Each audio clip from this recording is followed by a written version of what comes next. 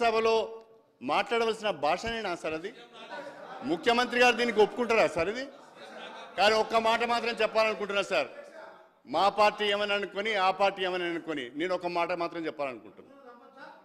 నేను ప్రస్తుత ముఖ్యమంత్రి రేవంత్ రెడ్డి గారు.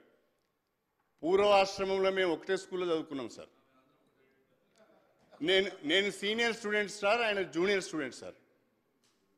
ఆయన ముఖ్యమంత్రిగా ఉండాలని మాత్రము నాకు మనసు నిండా ఉన్నది సార్. కానీ రేవంత్ రెడ్డి గారు కొంచెం మీ వాళ్ళతో జాగ్రత్తగా ఉండండి. మీ వాళ్ళతో జాగ్రత్తగా ఉండండి రేవంత్ రెడ్డి గారు.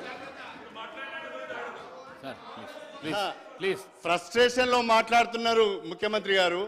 మా వైపు నుంచి మీకు ఏం ప్రమాదం ఉండదు. మీరేం మా గురించి వరి కాకండి.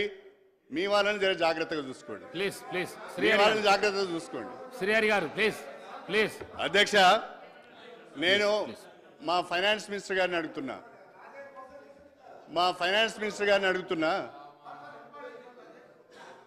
అధ్యక్ష డాక్టర్ బిఆర్ అంబేద్కర్ అభయస్థం పేరిట ఎస్సీ ఎస్టీలకు ప్లీజ్ ప్లీజ్ ఏం సార్ ఇది? ప్లీజ్ ప్లీజ్ మాట్లాడండి. Sir I'm not yielding sir. I'm not yielding.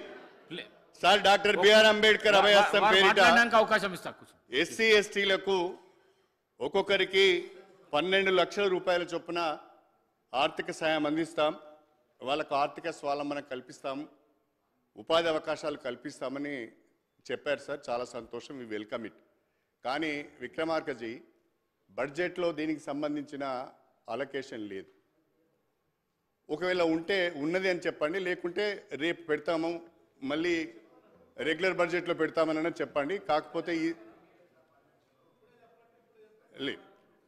ఇంకొకటి అధ్యక్ష సారీ మన కాంగ్రెస్ మేనిఫెస్టోలో ఇంకొక అంశం కూడా చూసిన అధ్యక్ష.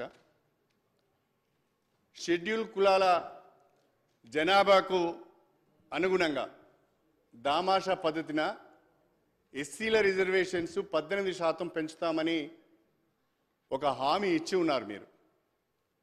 పంతొమ్మిది వందల ఎనభై ఆరులో ఎన్టీ రామారావు గారు ముఖ్యమంత్రిగా ఉన్నప్పుడు ఎస్సీ ఎస్టీల రిజర్వేషన్ను జనాభాకు దామాషా పద్ధతిన పద్నాలుగు శాతం ఉన్న ఎస్సీ రిజర్వేషన్స్ను పదిహేను శాతం చేశారు.